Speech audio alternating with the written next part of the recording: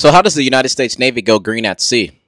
That's a great question. When you think Navy, you probably imagine jets burning through gallons of fuel, destroyers launching missiles, and enough emissions to make Greta cry. But what if I told you the Navy is actually one of the most greenest fleets on Earth? Well, here's how. Starting with power. Our aircraft carriers and our submarines run on nuclear reactors. No diesel and no refueling for over 20 years. That's over two decades of nonstop ops emission free. Not exactly Tesla vibes, but it's still impressive. But what about trash when you're spending months out at sea? Well, onboard trash, it's handled like a science project. All waste and trash on a Navy ship actually gets sorted and disposed of properly. Plastic gets shredded and melted into dense pucks. Paper and cardboard get incinerated. Food waste, or what we call dunnage, gets macerated and released only when we're far from shore. Everything else gets burned, compacted, or stored until we hit the next port. The Navy has even tested biofuel blends, like mixing algae-based fuel with jet fuel in Super Hornets, an initiative that they call the Great Green Fleet. There's also hybrid propulsion tech on new amphib ships, like the USS Makin Island. But don't get it twisted. People still call out the Navy for sonar hurting marine life and ships and other aircrafts leaking fuel. So yeah, it's a work in progress. So next time you hear military industrial complex, just know some of it's nuclear powered, waste conscious, and surprisingly, eco friendly. Who knew?